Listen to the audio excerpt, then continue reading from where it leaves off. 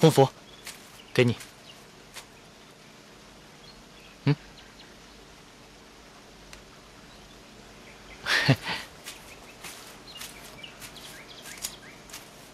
小呆，乖乖的，你累了吧？啊？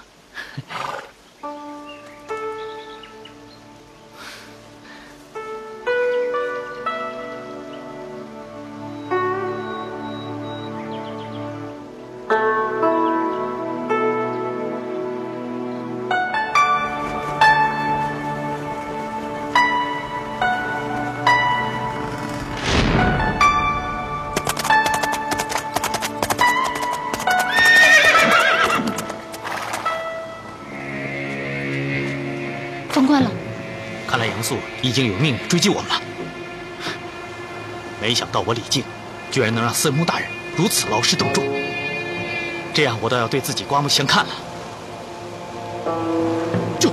哎，公子这是？姑娘之前给我的令牌，此刻便能派上用场了。就。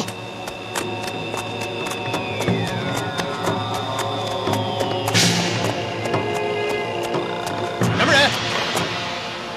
我们是司空府的人，赶着出关办事。耽误了我们的事，小心你的脑袋！别动！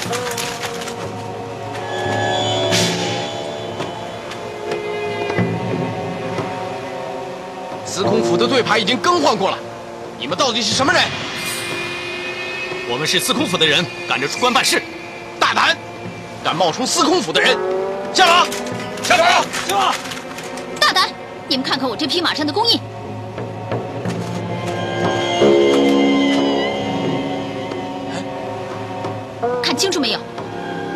主管已经延误，若误我大事，我要你狗命！是是是，小的有眼无珠，开棺，开棺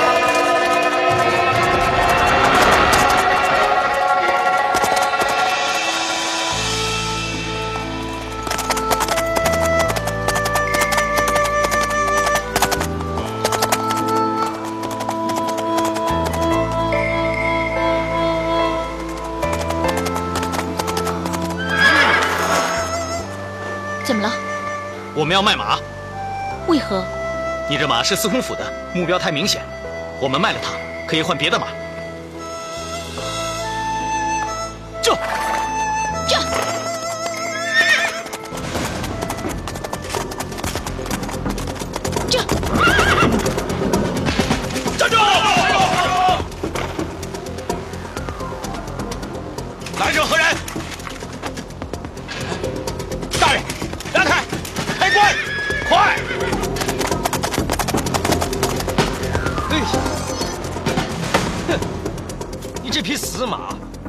么多银子把你买回来，你怎么一动不动啊你？你这不是浪费我的钱吗？死马，回去我把你杀了！少君，好像是府里的马。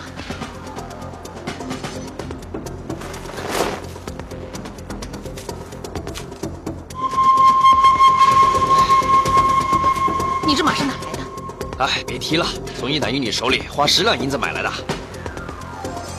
他们往哪去了？往南边去了。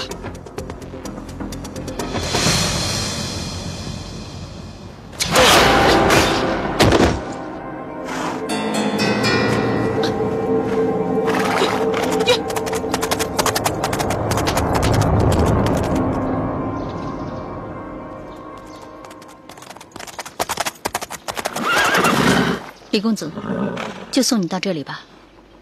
你要走？我们已经安全了。这村子里有我认识的人，他们可以收留我们。只要我在，你就不会安全。我身上也有司空府的印记，很快就会把追兵引过来。所以不行。莫说姑娘是我的救命恩人，即便就是素昧平生，我也不会让姑娘就这么离开。姑娘把我李靖当做什么人？贪生怕死的小人吗？如果这样，姑娘便不该救我，我也不配活在这个世上。我只是不想前功尽弃。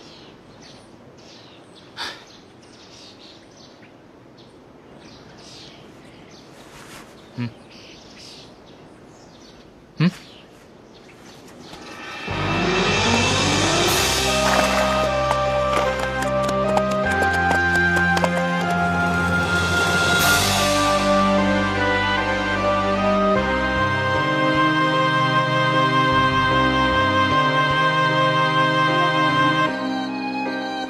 就算是给我一个不那么恨你的理由。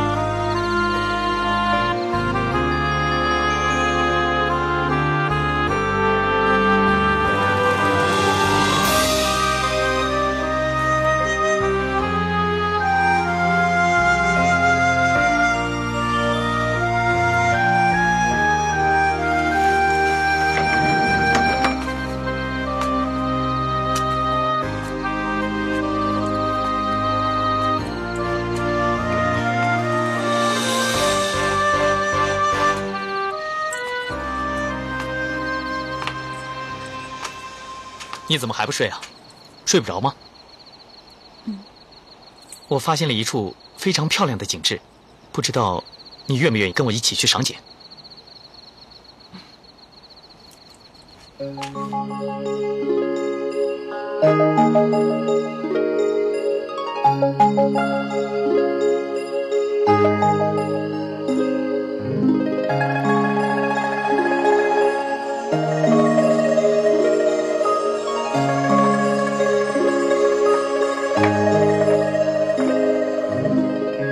就是你说的好景致。我小的时候，奶奶告诉我，人死了以后就会变成一颗颗星星挂在天上，在天上不必受苦，不会挨饿，也不会受冻，每天都过得开开心心的。啊！我离开家乡已经有三年了，这三年来，我去过很多的地方，也见了很多的人。一开始呢，我以为我懂得很多的东西，可是走得越久，就发现自己知道的越少。越是这样，我就越想知道的更多。啊，现在我真想能够有机会让我把我的所学都展示出来，真可惜。会有机会的，有朝一日，你一定能成为万人敬仰的伟人。你知道吗？除了我奶奶以外，你是第一个这么说的人。哎，红福姑娘，你笑了，我觉得你应该多笑一笑。笑容呢，是最好的装饰，比任何的胭脂水粉都要让人神采飞扬。红福是我地宫里的名字，既然我已经离开了，就别再叫这个名字。我姓张，叫张初晨。张。初晨，张初晨，嗯，果然是这个名字比较配你啊。哎，对了，呃，张姑娘，对，你们的地下宫都是怎么样的？地下宫那个地方很黑，很潮湿，四面墙都是石头做的，房子里都是硫磺味儿。那是火把燃烧发出来的，火把插在墙上，永远不熄灭。哇，听起来很阴暗，很冰冷。我不知道别人怎么感觉，可我是在那里长大的。我觉得那里很温暖，那是我唯一知道的，像个家的地方。像个家的地方。嗯，张姑娘，你在那里过得快活吗？我们是暗人，我们的生活不需要快活。生活在暗处的人，不能让人看见的人。我活着只为一件事，就是杀人。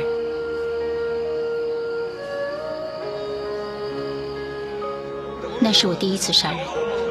血喷在脸上的感觉，我永远也忘不了。心是热的，后来凉了，粘在脸上，慢慢拔紧。我会用长剑杀人，也会用匕首杀人。我懂得四十六种毒药，可以让人有四十六种死法。我可以用嘴来杀人，用我的头发，我的手，我的脚。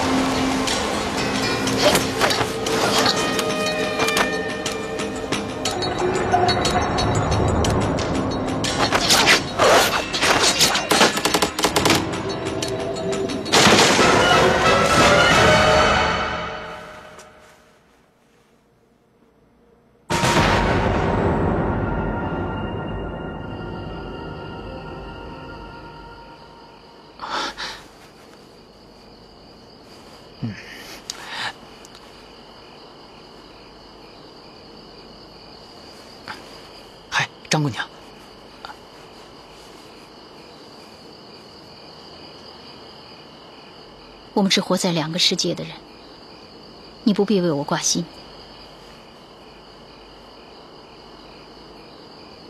我们不适合在一起，不适合做朋友，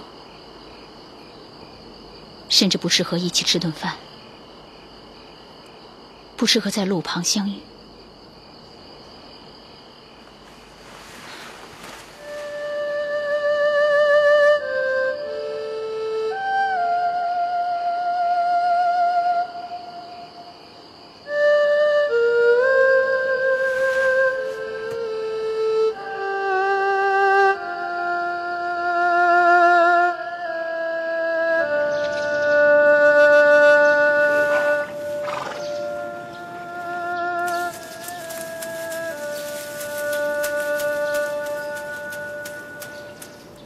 少君，你说他们会回来吗？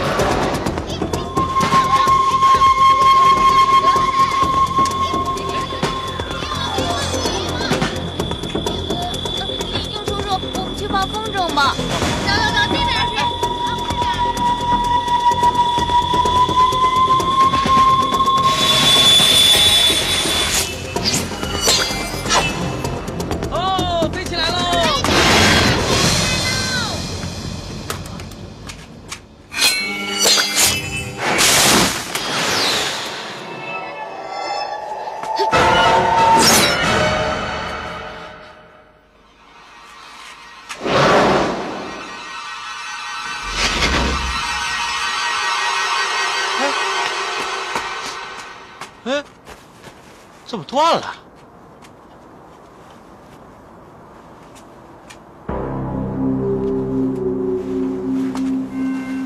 他来了，他，他是谁啊？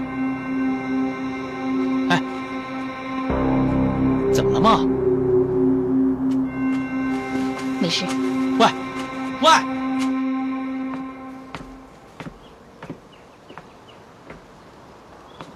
少君，属下不明白，司空大人命我们杀李靖、抓洪福，现在明明已经找到了他们，少君为何还不动手？你只需服从，无需提问。洪福认得少君的铃声，若此刻再不下手，恐怕他们就要逃走了。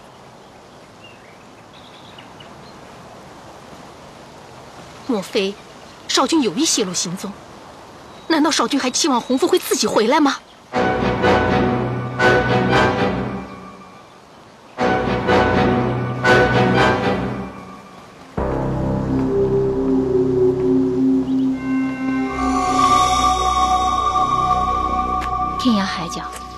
去到司空府找不到的地方。这个世界上真有司空府找不到的地方吗？如果这个世界上没有一个地方是司空府找不到的，那有什么方法可以让司空府的人不再追杀我们呢？啊？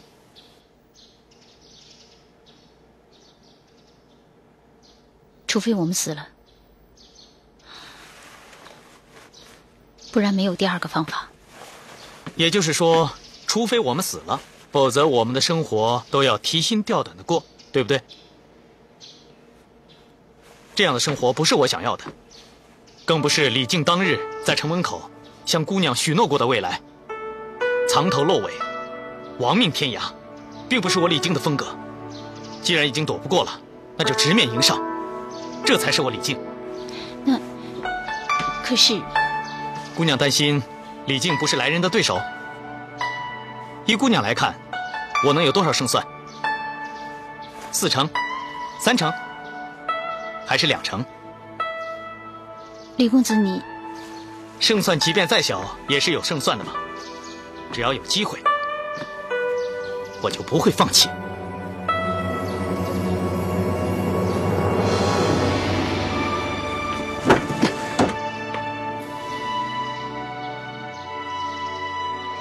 走吧，我带你去一个地方。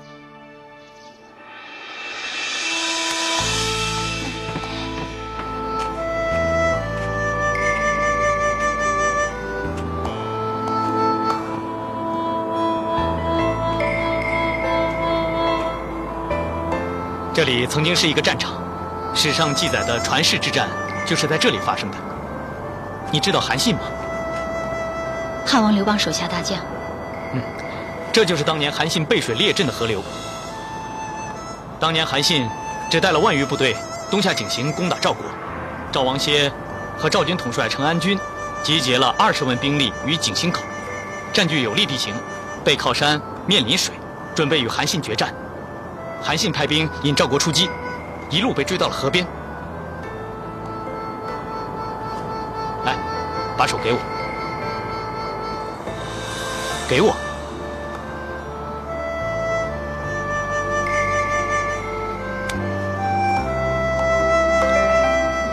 把眼睛闭上。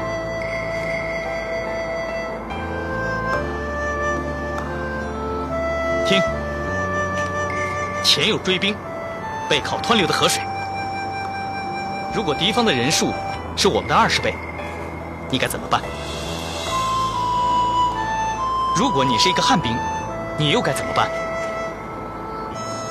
往前冲，跟敌人拼一把，说不定还有活路。说得好，置之死地而后生。韩信就是利用了人在绝地反击的强大意志，大获全胜。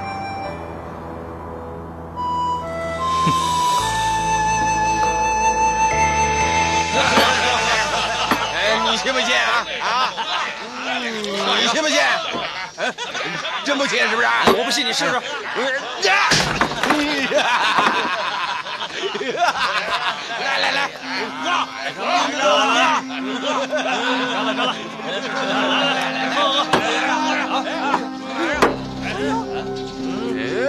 听说你们是这一带最凶狠的马贼。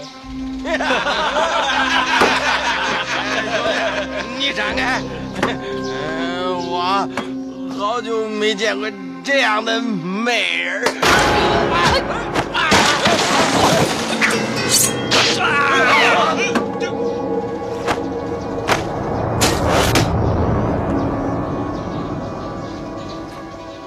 我要买这个人的人命。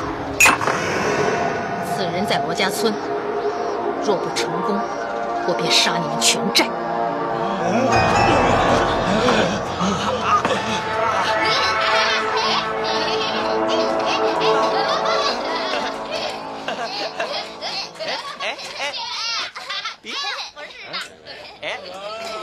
晾一晾就干了。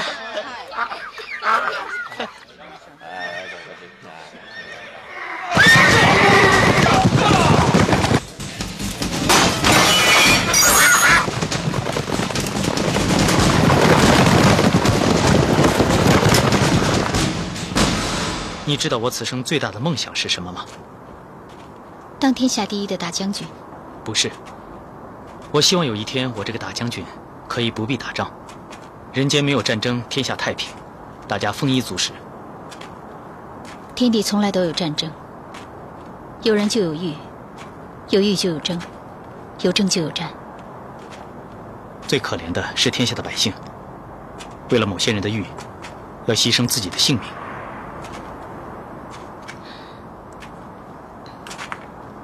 刚才我听到十二次铃声，如果我没猜错的话，他是希望我们一日之内投降。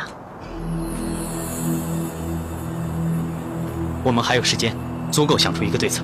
走吧，走，快点！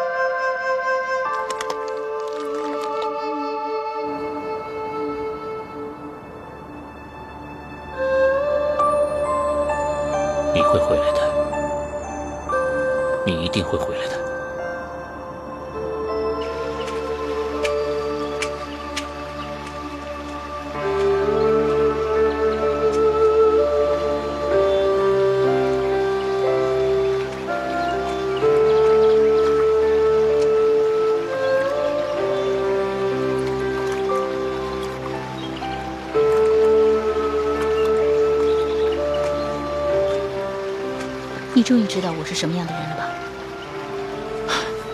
我知道，今天你救了我们的性命。杀人对我来说是习惯，不用为此感激我。没有人天生习惯杀人，而且一切的习惯都是可以改的。我知道你觉得我今天过于心狠手辣，你觉得我不应该去追那些落败逃走的马贼。可是我要告诉你，如果我放那些人走，他们不会就此罢休，他们会找更多的人来报仇，后患无穷。可是你有没有想过，他们也有可能不再回来骚扰民众啊？你也看到了，他们是来杀我的，背后有人指使，放他们走对我不利。无论如何，他们都是一条性命，他们也有家人，他们也有父母。你为何不给他们留一个机会，也给自己少添一些罪孽？这样不好吗？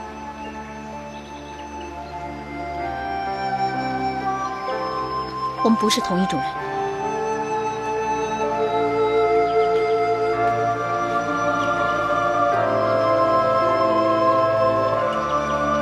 我们不是同一种人，那我们是哪种人？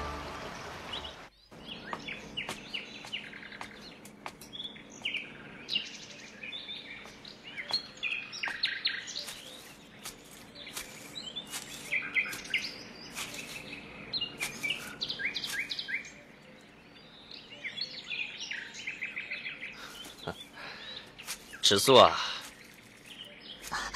少爷，嗯，画的倒也有几分意思啊，多谢少爷。真是看不出来，你还有这样的才华。奴婢，奴婢哪有什么才华？听说少爷对书画的造诣颇深，前些日子府君还赏了少爷一幅展子虔的真迹，可否借给尺素一看，也得长进不少。展子虔，就凭你也想看？不，奴婢不敢。我只不过随便说说，还真以为自己画的好，真不知道父亲养你们这群废物在府里面干什么。奴婢并无不敬之意。哼就凭你这种画，本少爷多看一眼都是污了眼睛。哼！我告诉你，你们这帮人全是废物。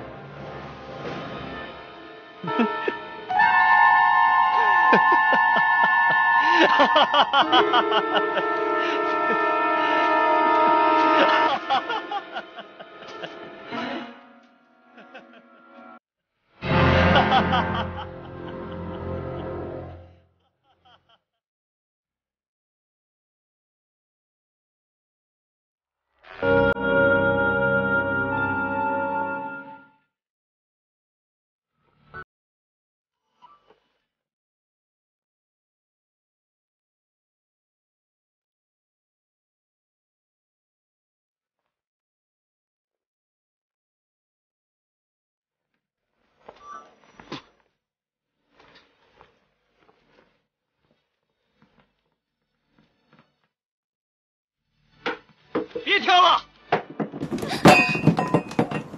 跳的什么舞啊？那么难看啊！蠢材，全部是一帮蠢材！啊，我养你们这么久，啊，十个加起来都不如我爹一个。滚！全都给我滚！滚呐！你们也滚呐！哼！少主，梁鹏求见。梁鹏，梁鹏什么人？不认识，不见。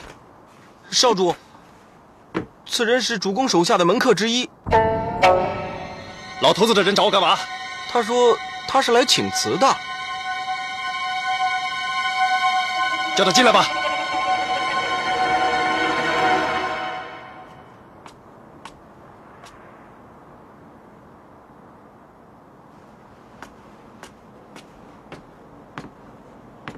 淮阴梁鹏，拜见少主。你说你是我爹的门客？正是。我怎么从来没见过你啊？司空大人府上门客过千，少主自然不会记得在下。听说你要走？没错。梁鹏在司空大人的府上已经五年了，五年来，我一直都想为司空大人效微薄之力。也不停的上书申诉我对治国理政的想法，可惜司空大人都未采纳。梁某深感愧对司空大人，故特向少主请辞。我从此回乡，永不进入长安都城。哦，你都给我爹写了些什么？我爹没理你啊？我上书司空大人，要杀昏君，当权主政。救百姓于水深火热之中。还有什么？我还力荐司空大人将身边一干侍女全都赶走，尤其是独孤城。此人居心叵测，包藏祸心，且有意在司空大人面前争宠。此人不除，后患无穷啊！说得好，说得好。哎，再说一遍，你叫什么名字？淮阴梁鹏。梁鹏，好一个梁鹏！好，从今天起，你就跟在我的身边。我爹不懂得赏识你，可是我懂啊！多谢少主。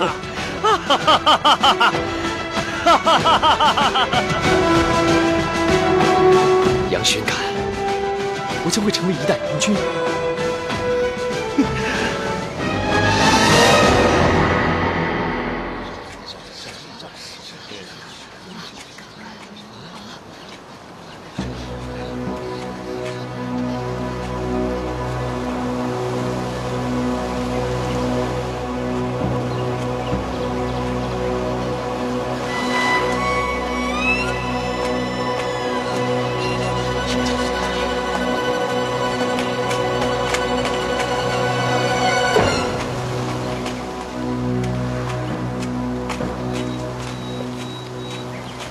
跟着我了，你要去哪里？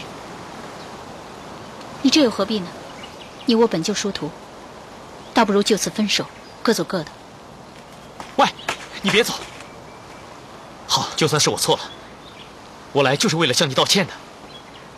杀人的不是你，怎么会是你的错？对，正因为杀人的不是我，我才会这么内疚。你知道吗？我刚才看见你那样的杀人，我心里有多么的难受。我都恨自己无能，这一路上都是你在保护我，而我却无法保护你。其实我在生自己的气，拜托了，原谅我。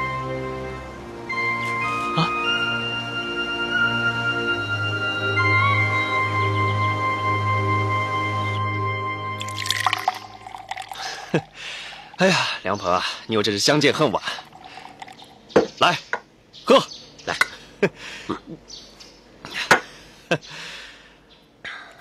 嗯，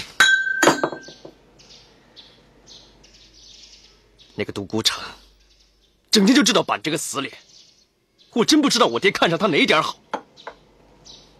我今天去请命抓洪福，我爹死活不让我去。我到底哪一点比不上那个独孤城啊？少主若想在司空大人面前立功，也不是没有办法。哦，哎，说来听听。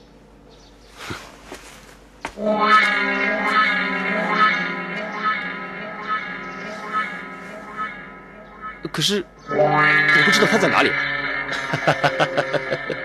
所谓螳螂捕蝉，黄雀在后。洪福找不到，我们就找独孤城。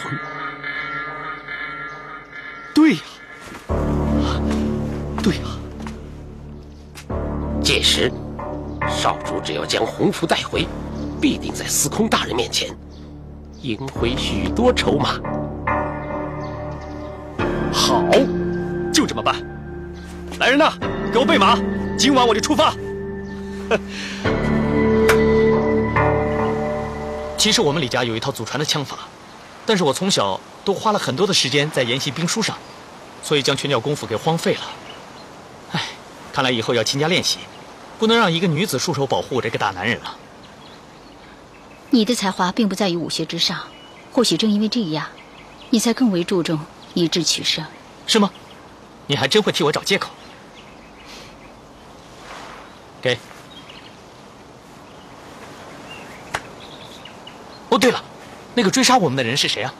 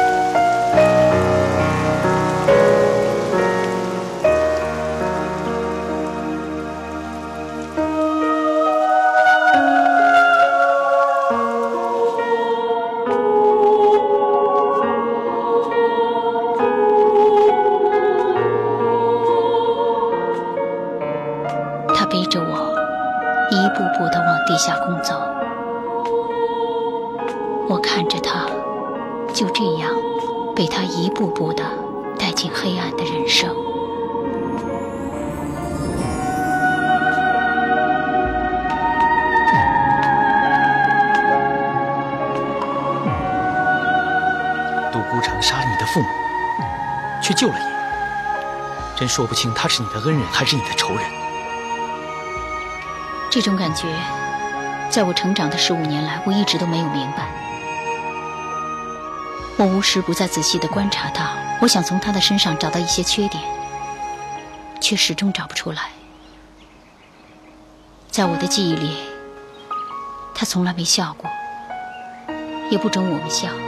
现在我明白了，藏在那颗冷酷无情的表面背后。其实是一个伤心欲绝的可怜人。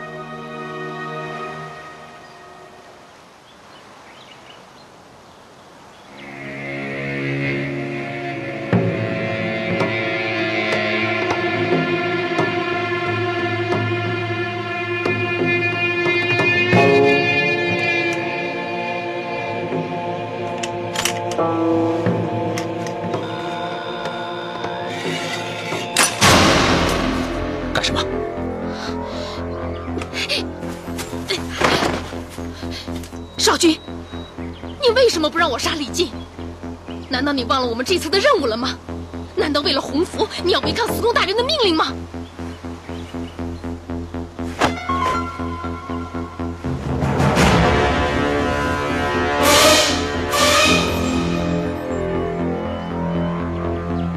你要杀的真的是李靖吗？我说过，我等他一天，在这一天里，你若再做什么事情，我必杀你。